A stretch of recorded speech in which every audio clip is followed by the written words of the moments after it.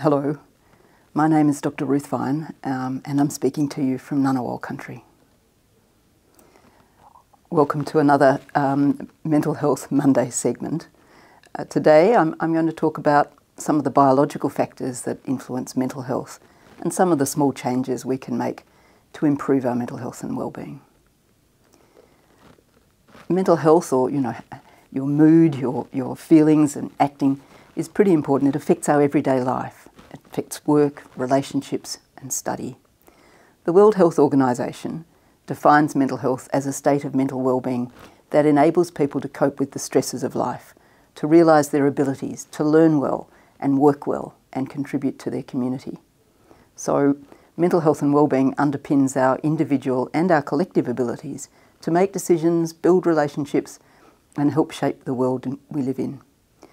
Looking after your mental well-being is just as important as looking after keeping your physical body healthy when we're feeling emotionally healthy, we can be fully present with our family and friends and community. Taking care of our mental health and well-being looks a bit different to everyone. It's about finding a balance in aspects of life that works for you. It's about your whole person, your physical, mental, social and emotional uh, parts of your being. Making small adjustments can help you learn what works for you and, and to, to stay well and there are a number of well-proven ways to look after and maintain your mental health and well-being. These include, firstly, getting enough sleep. Repeatedly, studies show that good quality sleep can improve our mental health and well-being and enable us to approach our daily lives feeling more energised and restored. But with our increasingly busy lives and all the dis distractions around us, it can be difficult to achieve the recommended seven to nine hours of sleep for adults and eight to 10 hours for young people aged 13 to 18. Not getting enough sleep uh, or disrupted sleep can impact our physical and mental health. Lack of sleep has been linked to a whole range of health conditions, including high blood pressure, low immunity, and inflammation, but it affects our mood and temperament as well. To improve the quality of your sleep, try establishing a sleep schedule, a routine that works for you. It might include going to bed at the same time every night, waking up at about the same time every morning. Um, evidence shows that doing exercise, maybe taking a warm bath or shower before bed, keeping your room dark and blocking out as much noise as you can can also help in establishing a better sleep routine. Turn off screens well before you go to bed. But working out what routine works for, best for you and sticking to it as much as possible is the most important thing and will support better sleep habits. Secondly, eating well. So a nutritious diet is not just good for your body, it's good for your brain and, and for your mental health. There's a strong link between what we, what we eat and how we feel.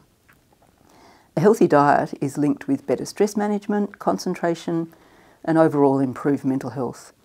Um, I know it can be hard to think about our diet when we're struggling with our mental health, but we're seeing evidence that eating a balanced diet, variety of fruit, vegetables, nuts, whole grains, can actually improve mental health. And in fact, this is a, a, a new and uh, exciting area of research. You don't have to make big changes to your diet to positively influence your mental health. A few ideas. Um, try eating plenty of high fibre foods, grains, fruits, vegetables. Um, make sensible swaps like choosing whole grain bread or rice instead of um, fast foods and white varieties. Um, choose the good fats rather than the bad fats, like fats found in vegetables, avocado seeds, nuts, olive oil.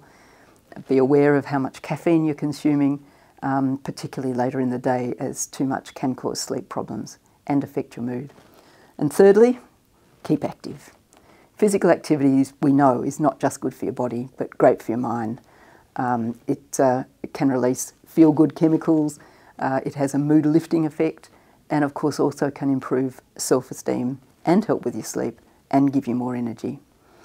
Um, in order to get active, it's important to find something you like to do. You might start setting, start small by setting achievable goals for yourself, keeping track of your progress and noticing um, how you're improving.